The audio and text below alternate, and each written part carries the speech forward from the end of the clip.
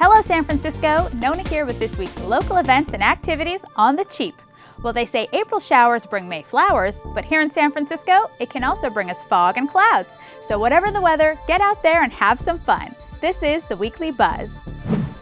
This Thursday, May 1st, check out the Urban Air Night Market at Soma Street Food Park.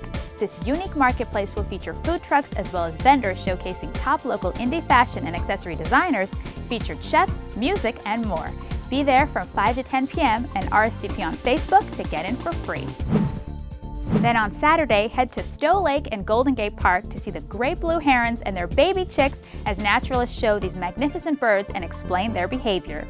These exciting four-foot tall birds with six-foot wingspans will be hanging around from 10 to 1 p.m. as educators will offer a peek into their nests and answer any of your questions.